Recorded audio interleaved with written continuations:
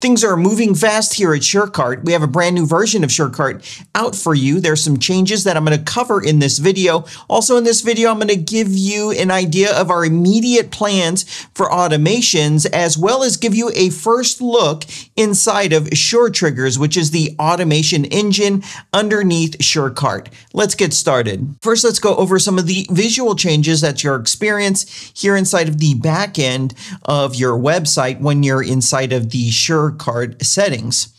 So I'll click on the logo for SureCart and you'll see a subtle change here in the color scheme as well as our logo integrated. Next, you'll notice something missing here in the menu items.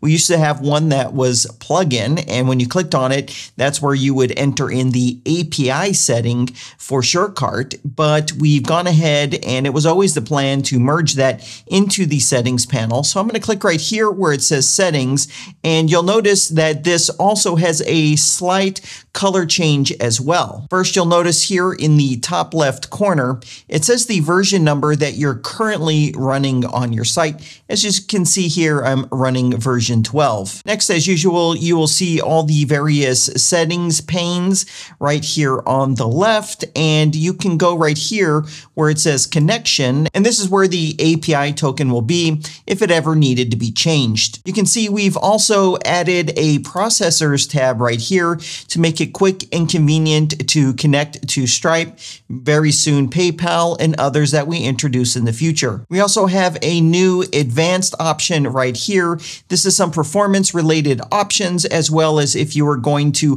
uninstall SureCart on a website, you can have it uninstall and remove all of the plugin data once you remove the plugin. And right here, you can click on help. Currently, it's just going to open up the email in your email client, but most likely will add a form inside of the user interface in the future. Now, the next change is part technical, but part changes the experience slightly that you'll see inside of your forms. And that is that we've integrated the payment element from Stripe. That's the technical uh, part. This is something that Stripe is doing with any platform or tool that integrates with it, they're having everyone switch over to this thing called the payment element. Even if you're using WooCommerce and maybe the Stripe payment gateway for WooCommerce, they're making everyone convert on over to this payment element. So let me show you what those changes are going to look like. Right now I'm on Stripe's website and then I'll show you inside of SureCart here in a moment. This is a demo of what the experience is. So what they've done is added two input fields. One is the country, one is the zip code, and they've introduced this interface here that we'll be able to add to. So if you're familiar with Stripe, you know that you can connect to many gateways around the world through Stripe. And this is the interface that they've come up with in order for people like us at SureCart to make these available to you. So for example, right here's an option for Afterpay when it's clicked on, what's beneath it changes a little bit to accommodate for what Afterpay needs, as well as US bank account for ACH transactions. Now, currently, we are supporting credit card transactions. We are already working on Afterpay, and we'll try to support as many of these as possible, such as iDeal and Boleto. I might be pronouncing that wrong in Brazil. In fact, I'm pretty sure I am pronouncing that wrong. So now let's take a look at how it's going to look inside of your forms. So I'm going to go into one of my forms right here. I'll go into this form right here. And you can see when I scroll down, this is what it looks like, the new payment interface. So there's a few pieces to this and the responsiveness of this is all handled by Stripe as well as this sentence underneath it right here. It says uh, by providing your card information, you allow, and then it's going to automatically display the name of your business to charge your card for future payments in accordance with their terms. So this is all here by Stripe, and this is something that they're having everyone switch to. And here I am on the front end of my site, and you can see how it's looking. So right here, uh, this is what the payment section looks like. Here's another example on a styled website where I have the switcher and you can see this right here. So obviously it's not as sleek as it used to be, but like I said, this is something that Stripe is implementing and they're having everyone that builds an application around Stripe, they're having them all switch to this new layout. Now I'm going to show you something really cool and this has been requested quite a bit recently and that is if you're offering a product that doesn't cost anything, it's a free product, to make it so the payment box does not appear. Let me show you that. On this payment form right here, you can see I have multiple options here in the product chooser. And the first option right here is for no, no cost. There's absolutely no cost to it. So obviously, if someone is going to choose this, there's no reason to show the payment form, which you can see right here. So when I click on it, you're going to see the payment form completely disappears. And this is what the buyer or purchaser, even though it's zero dollars, is left with, just you their name and their email address, and then they can conveniently check out. That's pretty cool, right? Uh, we've had a lot of requests for this recently. Now I'm going to show you a preview of our PayPal integration, which is currently being tested. We are waiting on PayPal certification of it, and we can't wait to release this to you. So I have this here in a preview video. It might be hard to see in this video. Uh, but right here, you can see we're going to have a section that says payment. We already have that. And it's going to be an accordion interface, which is, I'm sure, what you would have expected. So what you can see here is the credit card, and this is the Stripe integration.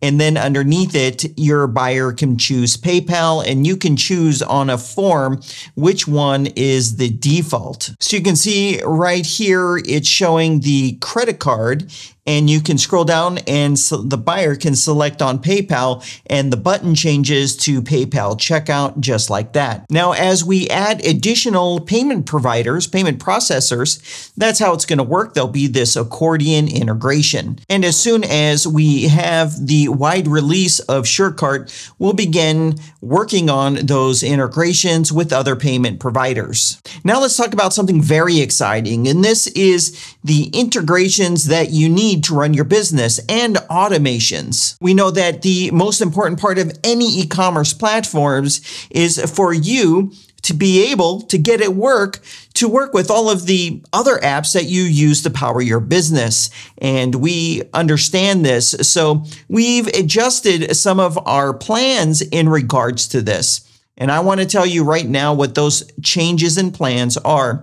So immediately, which means right now, we've decided to work on several native core integrations inside of SureCart. And so this will be outside of the automation engine that we've been talking about. So these would be, for example, changing a WordPress user role, enrolling in a LearnDash course, connecting natively and directly to Thrive Architect so that entire ecosystem of users can easily integrate SureCart into their businesses. And there's several others that we are adding. We are not going to add everyone. These are the main integrations that people will need. Everything else will be able to be done inside of SureTriggers. And that's actually going to be the name of the e-commerce automation platform that we've built. It's just an automation platform. I don't know why I said e-commerce, but it's going to be the automation engine for SureCart. And right now, I'm going to give you a first look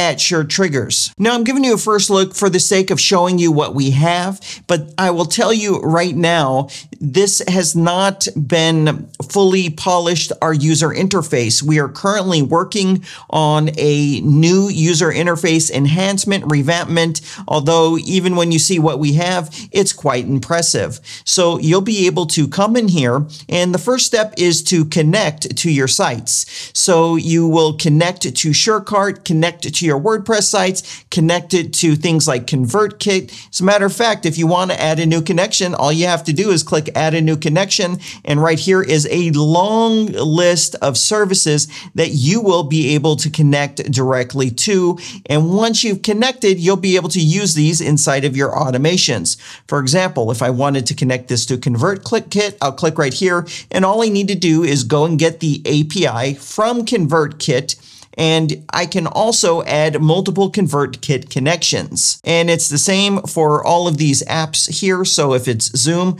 I click right here and one click on this button and I'll be able to connect my Zoom account to the platform. All of your connections will show here inside of a list. Then you'll be able to go here to the automations tab. And this is where you will see a list of the automations that you have created. Now creating a new automation is very simple. You'd go right here, click on add new. You would give it a name. Once you give it a name, you'll click create automation right here and you're quickly taken to the canvas layout builder. And this is very, very powerful. So every automation starts with a trigger.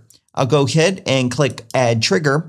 And over here on the right, I can go and choose what app this trigger is coming from. So in the case of SureCart, I'll scroll down and I'll see SureCart right here. And then you can choose what specific trigger inside of SureCart. What we have listed is if the admin revokes a purchase, the admin unrevokes a purchase, a refund is issued, a purchase completes, a user completes an order successfully, or a specific product is purchased. So I'm going to choose a specific product.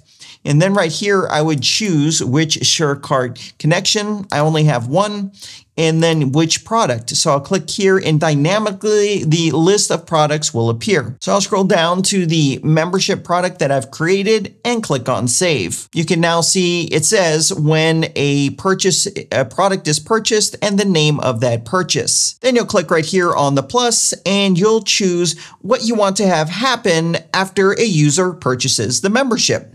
So we have actions and they're all listed here. These are things that you want to have happen. So for example, if I click on Elementor, there's an option here to show an Elementor pop-up. Or if it's ConvertKit, there's an option here to add the subscriber, tag the subscriber, remove the subscriber, or remove a tag from the subscriber. And as I scroll down, there's lots of things that you can do with these various apps.